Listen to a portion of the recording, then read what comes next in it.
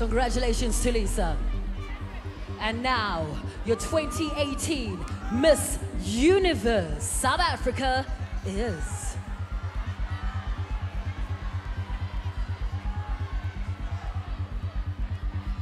Tamaryn Green!